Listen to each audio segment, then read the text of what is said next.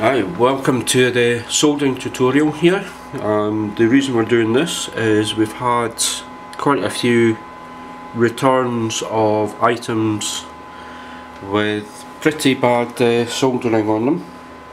Right, now as you should be able to see on there, there's uh, some rather shocking uh, examples of soldering.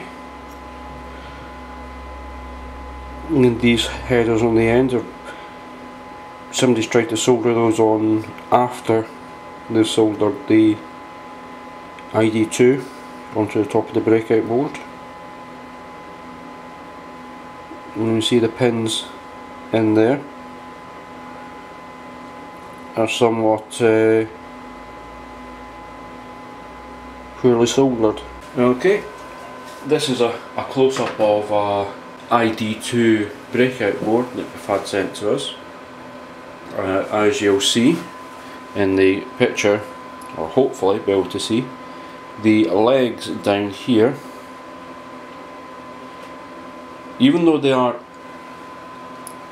giving you some contact, they're by no means uh, soldered correctly.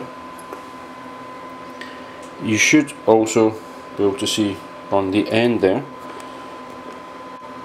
the header has got a gap. But that was caused by the customer trying to solder from the top. He actually hadn't thought about the order of assembly. With these boards you put the headers in first and then from there put the tag itself on. This is a, a small board that I have already started to solder this button onto.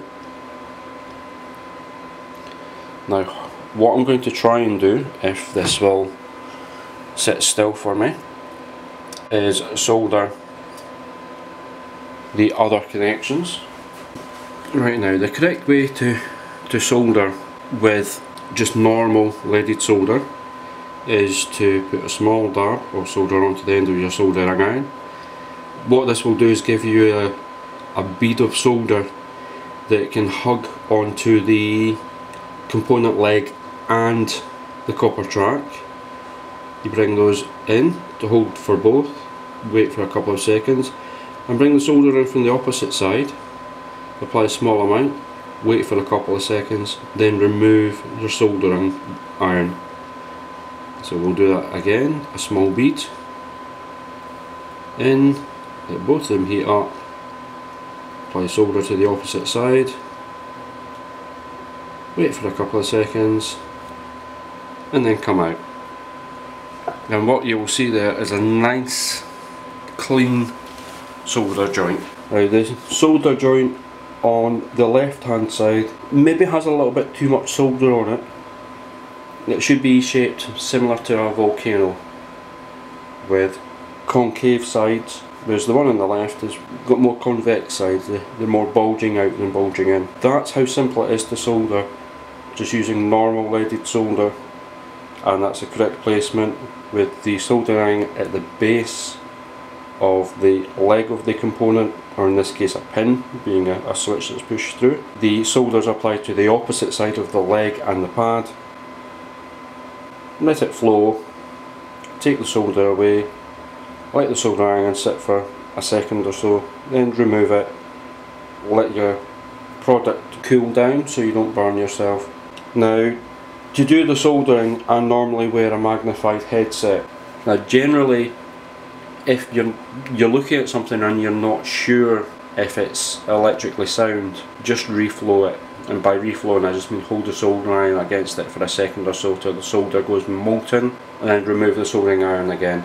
Generally you can do this once or twice. Any more than that you need to remove the solder and generally you would use something like solder wick which again we sell on the website there's some in the division there you would hold this against the the solder blob heat up the wick with your soldering iron and it does exactly what it says, it wicks the solder away. So absorbs it and then you just remake your joint with fresh solder.